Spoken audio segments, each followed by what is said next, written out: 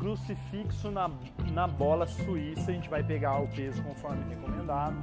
Aproximou, deita, barriga para cima.